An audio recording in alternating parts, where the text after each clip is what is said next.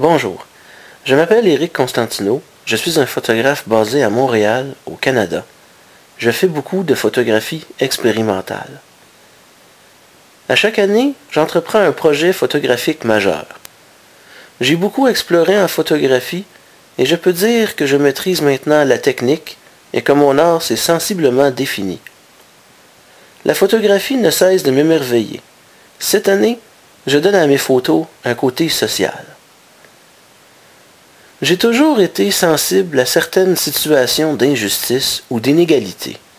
J'ai toujours eu un profond sentiment d'empathie pour les gens victimes de leurs différences, car sans le savoir, j'étais moi aussi différent.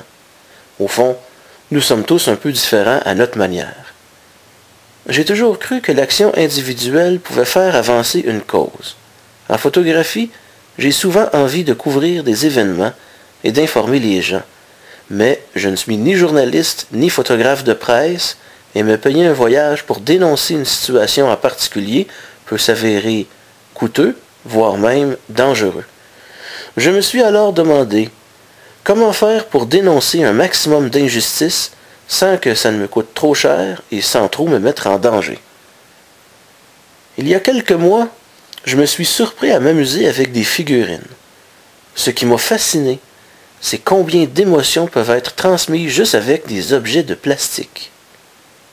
Avec l'aide des Legos et de mon imagination, je dénonce à chaque semaine pendant un an une situation tragique de notre monde moderne.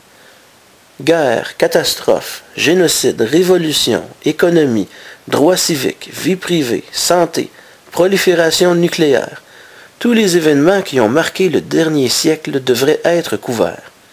Le tout dans le but de toucher, de conscientiser les gens par rapport à certaines situations qui ne devraient pas exister. Si je réussis à changer quelque chose, alors je serai satisfait.